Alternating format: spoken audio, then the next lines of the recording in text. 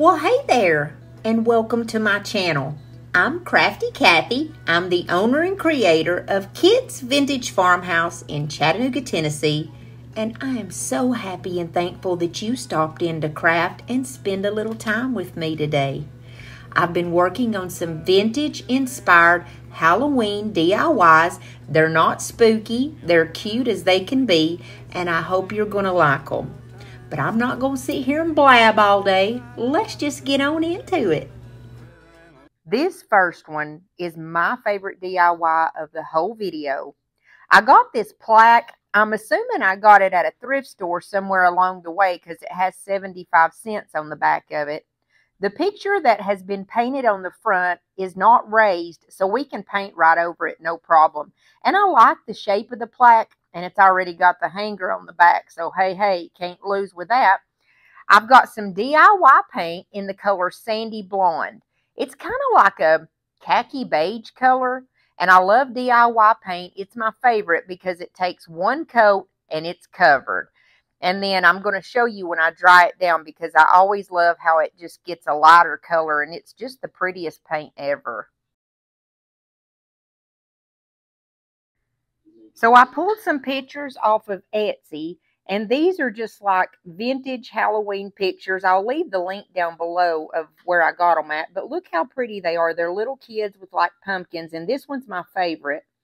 And then there's just all different kinds. There's some that are a little more cartoony, and some that are just, you know, they look like real life pictures. But anywho, they're really nice. And you know, I love this one. I've been using it some in my DIYs. I'm going to use this big one, however. I printed it out on sticker paper that was sent to me by Hippo. It's just like printer paper that goes through the printer, but it's got a sticker back on it. So when you cut your picture down, it's literally a sticker. And so all you have to do is peel that backing off and place it wherever you want it to go. I thought it would be cool to use this IOD stamp called Vintage Textures. I've never used it before, and it's got four different stamps in here, and each one gives a different type of texture. You know, kind of like for the background. You can do a crackle. Um, one looks like the picture's distressed. I've never used these stamps before, so when you start off using one of these stamps, the very first time you use them, you just peel it off. You get you a sanding sponge and you go over it. You don't have to go over it harsh or anything. You just go over it one direction and then go in the other direction. And that just basically gets any kind of like maybe leftover gook or anything that, that came from the factory. And my sanding sponge is horrific. It was literally peeling off whenever I was sanding these. But hey, it worked and it's all good. I'm just going to ink this up with my black archival ink. And to be honest with you, I don't know which one I want to use, so I'm just going to use a little bit of everything. I don't really know how they turn out. I kind of like these up in the upper hand corner here. And so when I placed it down, it did look like it had been distressed. And I just wanted this picture to have some type of a background. I wasn't being picky about it. I just wanted it to have some type of something in the background. And so I just kind of went over and used several of these different little stamps in here and just kind of had a little party with it. Then I waited for that ink to dry, which didn't take long at all. And then I'm just going to place that big picture that I have that's a sticker right over the top. I want to welcome you to my channel. I thank you so much for stopping in, like I said, to spend a little time with me today. If this is the first time you've ever been to my channel, please hit that little red subscribe button and become a part of our family. We'd love to have you, and we always have room for more. Also, if you would, hit the thumbs up button. That's the like button, because it really helps me out on YouTube.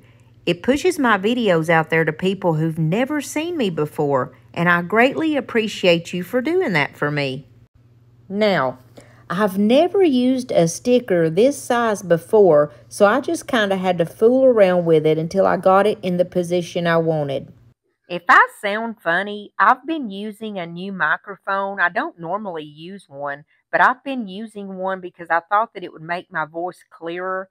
But in some aspects, I think it makes me sound very strange. Let me know what y'all think about that. If you like the way that the microphone sounds, if it if it helps you, or if you think that it was just fine the way it was. But just let me know. Here I'm just taking a little piece of Dollar Tree ribbon and I'm just going to go around my picture and kind of outline it to give it a little something. And I just put a little dab of glue around it to hold the ribbon. Now I'm going to take some of this cotton muslin, and I got this at Walmart. It's the Waverly brand, you see, and it comes in like, I want to say it's two yards. Um, so I just unrolled it, and I like muslin because it's kind of like a drop cloth. You can just make a cut in it and then rip it with your hands, and I like that ripped, frayed look. So I just ripped a piece off, and I'm using the IOD stamp called Letterpress. I've never used this stamp before, so I had to prep it just like I did before with the sanding sponge. And after much thought and consideration, I just ended up putting 31 on there and like a little exclamation mark. I was going to put like trick or treat, happy Halloween, but nothing fit on there. So we ended up with 31. and I just stamped it on the muslin and then just kind of ripped it down to the size that I needed. And we're just going to put this right under our little girls. I love to do mixed media like this is what you call it, where you just kind of use different textures, different things on your your uh, decor and it just kind of brings something different. I like it. I like things to stand out and just be a little different, you know. So I just make a little cut and rip it, you see, until I get it down to where I want it, just a little bit bigger than the 31 itself. Now I'm going to take just a piece of this tulle, and it's from Dollar Tree. It's the orange, and I'm loving this tulle this Halloween. I just been using the tarnation out of it. And I just kind of folded up a little piece that's a little bit bigger than the 31 and glued it all down. Then I'm going to take one of my sparkly spiders that came from the Dollar Tree, and he's got orange on him, so I thought it was fitting, and I'm just going to put him down at the bottom. Now, I'm not normally a glitter person, but at Halloween and Christmas, I go crazy with the glitter. I love it. If you don't like glitter, just skip that step, and the tulle has glitter on it also. Now, I got this raffia from Amazon last year, and all I'm going to do is just like cut a piece of it off. I don't need much. I just want some kind of little flare up at the top. So what I decided to do was just take a zip tie and tie that up top. But first I wanted to add a couple of little sprigs of this. It's like a little glitter sprig, I guess you could call it. It's from Dollar Tree, of course. And I just add a couple on one side, a couple on the other side, and just kind of make it flare out and look cute. I'm just simply going to take that zip tie and tie it right in the center.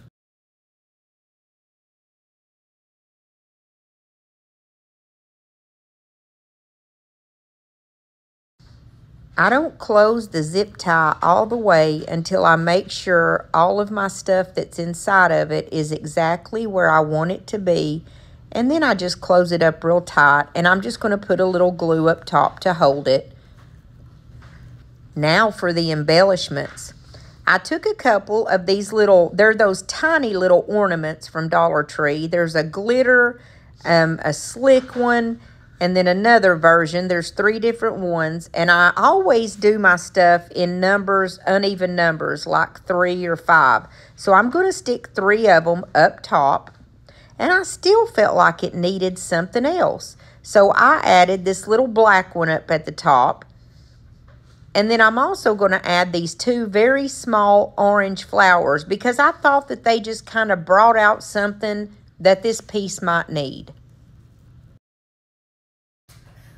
And then I just take the raffia up at the top and just kind of make a couple of cuts in it so that it would stick out just a little bit more.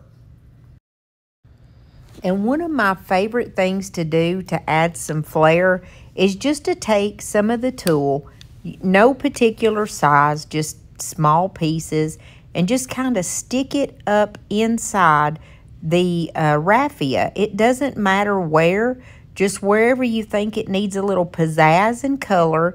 Instead of adding a bow, to me, this adds so much more. You see, I'm just taking a small piece here, no particular size, and just sticking it all over the place. And then I'm going to make an actual bow with this tulle. And I didn't mention either, when I do put those little pieces of tulle all in the raffia, I do just put just a little tiny like glob of glue, teeny weeny, just enough to hold it. And here you see I'm just grabbing some tulle, scrunching it up in the center, and it kind of makes a little bow. I'm just going to take um, just a little bit of my jute and just tie it in the center. Then I'm going to cut the sides off that way it'll flare out and it reminds me of like a firework, just like, pew, here it is. And so I think that's cute. Anyways, I like doing that instead of adding a traditional bow because I just think it brings so much more to the table. And I'm just going to stick it right up in that very top area. And then I'm going to finish it off by taking one of those little bats from the Dollar Tree that you can clip on to stuff, and I'm just putting him up in the corner there. Then I just give it all one final fluff, make sure everything's all foofy and cute and exactly how I want it. And I think these girls are gorgeous.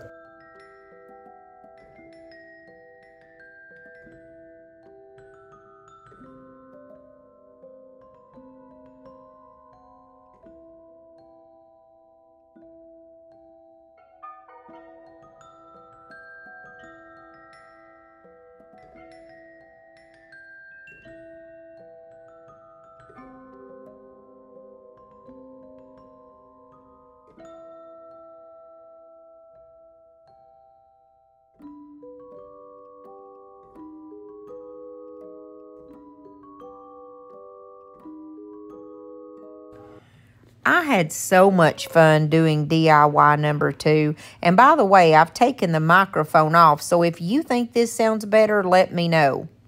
I've got one of these signs from Dollar Tree that says Boo, and I'm going to paint it with my DIY paint in the color beadboard. It's an off-white color, and I'm not trying to get like a perfect coat here. I'm just kind of really sloppily painting it. You know, I wish I was one of those DIYers that could set everything out before I begin and say, we're going to use this and this and this in this DIY. But I am so not that person. Like, I just grab something like this sign and I start going. I never know where it's going to end up or what I'm going to do, but I had so much fun tinkering around with this DIY. I got the idea to take just a little bit of Mod Podge. I'm going to put it all over the sign and I'm going to try to get this tulle to stick to it.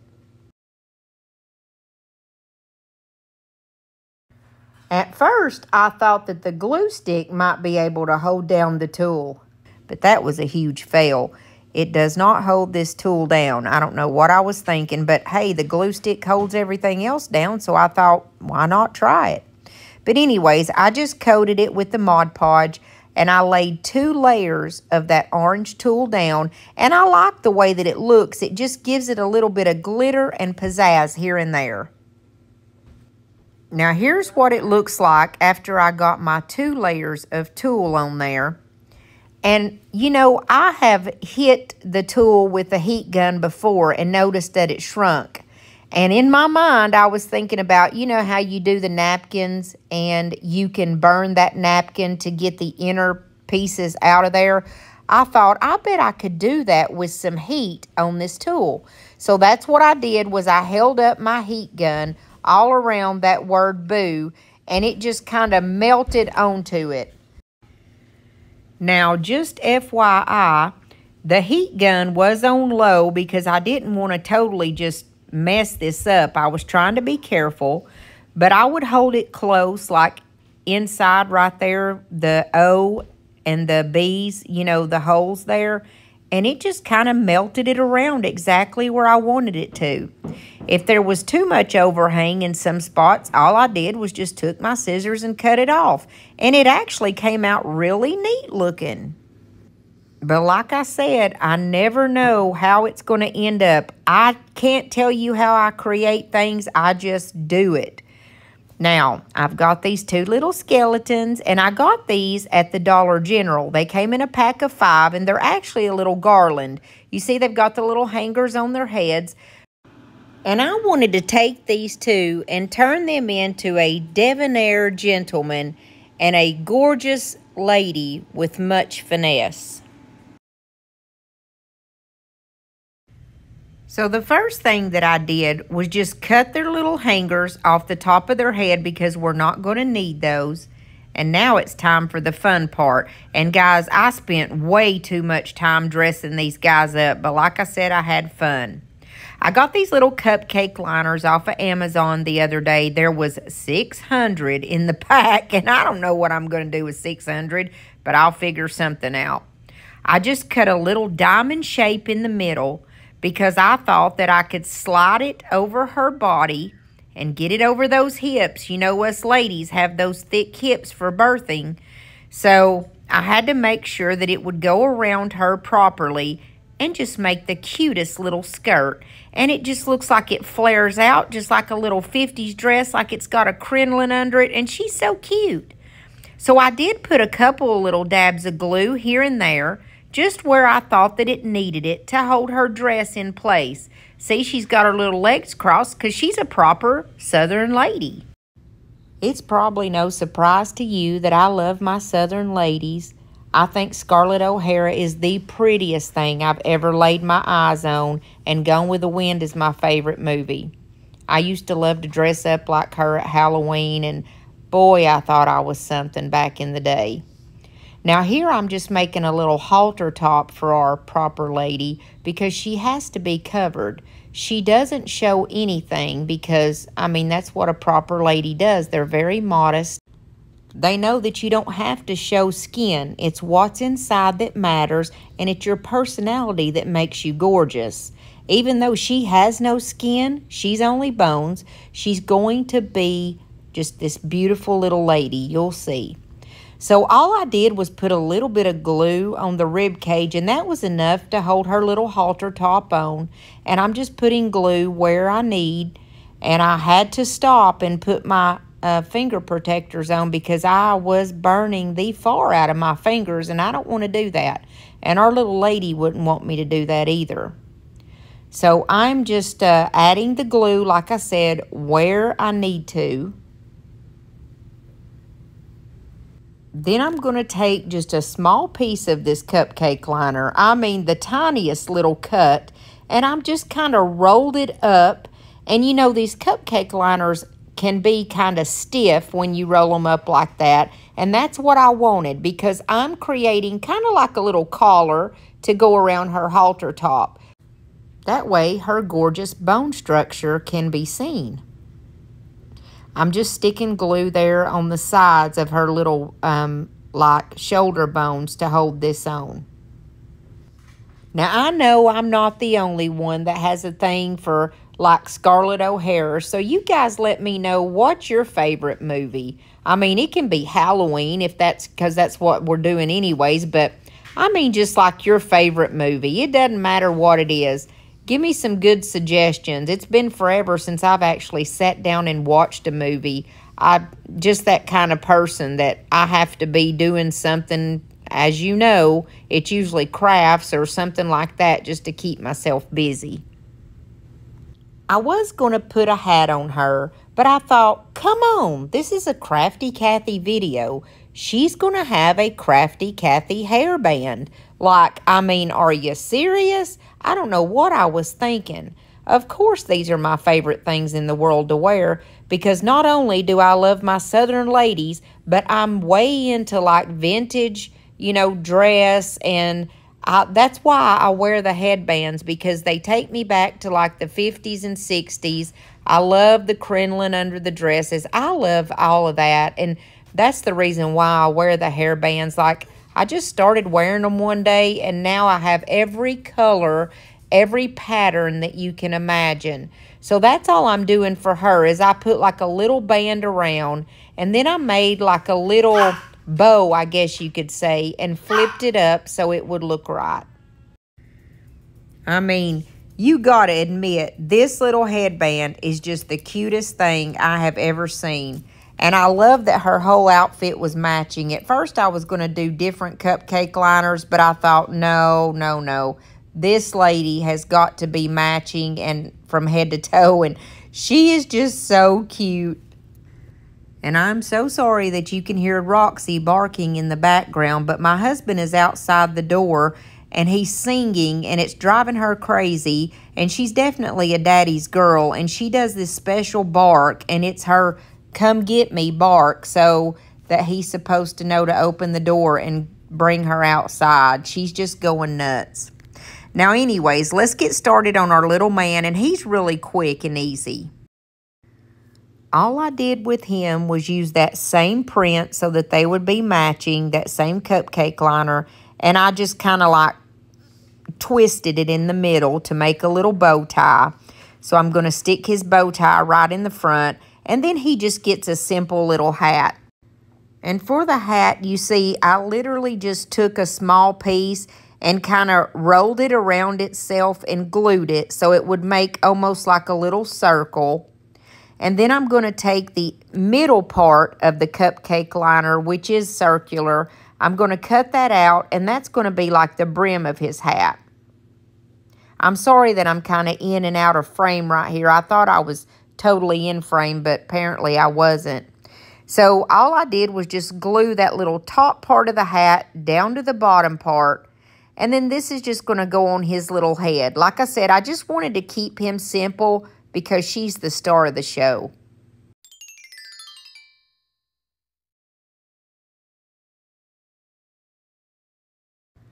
Then the way that I got these guys to sit down in here was their little um, legs, like at the joints, you literally have to kind of like break them so that they will move the right way.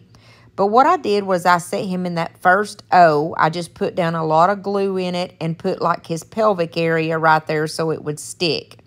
And he's just kind of waving. And then our little girl, I'm going to sit her down in that bottom O and like I said before, she's a proper lady, so she's going to have her little legs crossed, and she's just so cute. And her little arms are going to be folded in her lap.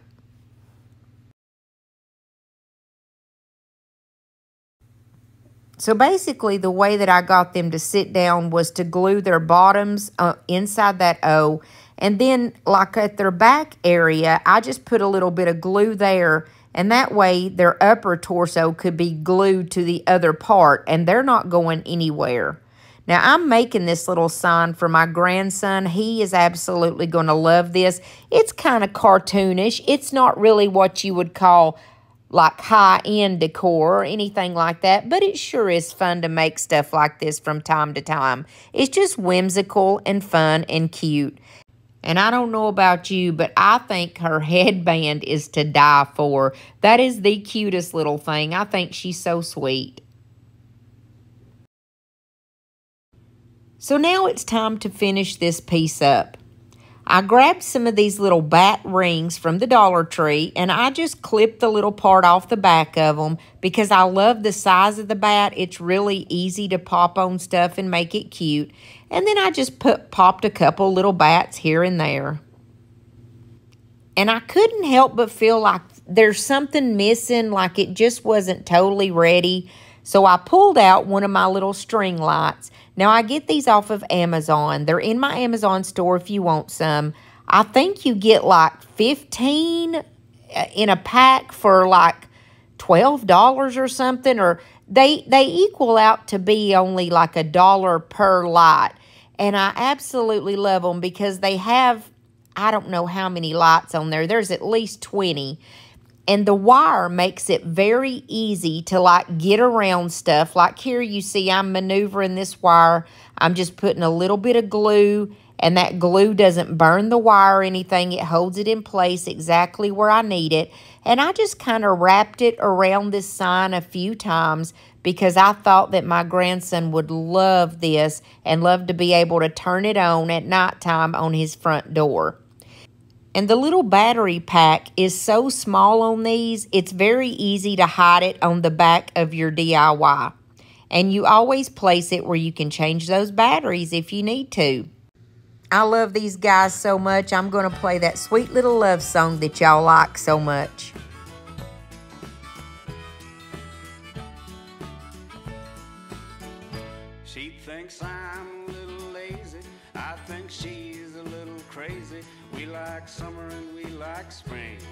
Watching wrestling in the ring. She ain't shy, she speaks her mind. Tough as nails and smooth as wine. We burn hot as kerosene. Baby, we got our own thing. She ain't skinny and I ain't tall. And that don't bother us at all. I run naked through the yard. She flash every police car. Drinking wine and getting tired. Shooting out the damn street lights. How does she put up with me? Oh, baby, we got our own thing. Oh, our I thought you guys might get a kick out of that, and so many of y'all just absolutely love that song. It is quite funny. So on the last one, I'm going to use some of these little Etsy pictures again, and they're just really easy and quick. You know, you just pay a couple of dollars to the lady and you print them off at your own home and print them on whatever you want. I wish I would have printed them on rice paper, but I didn't. Now, what I'm going to do is just pick this little witch here, the one that's got the pumpkin in front of her. I'm going to put her on this small little plaque that I got from the Dollar General yesterday. I only paid $2 for it. And the picture that's on it originally is perfectly fine. So I figured what we would do is just kind of make this, you know, double-sided. So whichever side you want to set out, you can. I'm just taking the sticker off. And I do want this little witch at the bottom that's got the pumpkin and the cat. So I pulled the plaque off of the bottom piece so I could trace and get the exact pattern. And I do not know why, but I decided to use my pinking shears to go around her because I thought that I was going to use that as some kind of flare. That's like I said, I never know what I'm going to do until I get there. So anyways, I cut it out in the shape that it goes on. Then I grabbed the liquid patina in the color dark and decrepit, which is kind of like a really dark brown color. I don't really want uh, a lot of color on this because you're not really going to see it. I just want to make sure that the edges don't show. And so I went over it real quick with the liquid patina with the dark and decrepit. I let it dry and I'm just going to use double-sided tape. Now, I use this double-sided tape a lot, especially if there's something that I don't want to be permanent. Like if I want to, I can take this picture off and, you know, no harm, no foul. So all I'm doing is just putting my sticky tape on there and I'm going to place it on my sign. I had just a little bit of overhang in a couple of spots, so I grabbed my finger sander to straighten that out.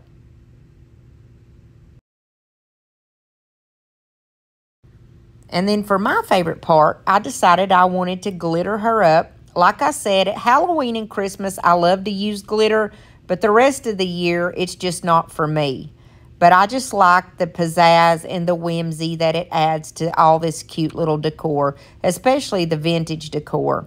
So I just went around with my Mod Podge and just kind of framed it out, and I used my Dollar Tree glitter to cover it. And I love this Dollar Tree glitter. It's the perfect size, and the color is just gorgeous. Then I just popped a little bit of hot glue down in that hole that I pulled it out of and I pushed it back in there. And as I did that, I messed up a little bit of the glitter at the top, but that's okay because we can fix it. I just added a little bit more Mod Podge and a little bit more glitter. Then I pulled out my clickable stamps. I got these at Michael's. That's the only place I've been able to find them. And I love these clickable stamps. They're small and they actually click together. That way you don't have to worry about your word being uneven or looking all kabobbled or anything. It's always perfect. And since it was such a small area, all I could do was the word Halloween. And I put it on one of those tiny little pieces of the cotton muslin that I was showing you earlier. I love that muslin because I like the raggedy look of it and it's just so quick and easy to pop on your projects. And then I just glued the word Halloween across the bottom. Then I took one of these little foam pieces that I got from Dollar Tree. It's got like, um, you know, the orange glittery ornaments on it and then some with some other type of like glitter. And I just put an orange one on there and a black one and I stuck one of those little bats on the front of the orange one. Then to finish it up and add a little pizzazz, I literally just tied a knot in the middle of some tulle and I glued that tulle down on the very back and then I just used just a couple of little drops of glue up the back of this sign. That way the tulle would kind of be flaring out and just give it a little something extra. I took my scissors and kind of cut it so it would kind of be whimsical and kind of flying everywhere. I hope you like her.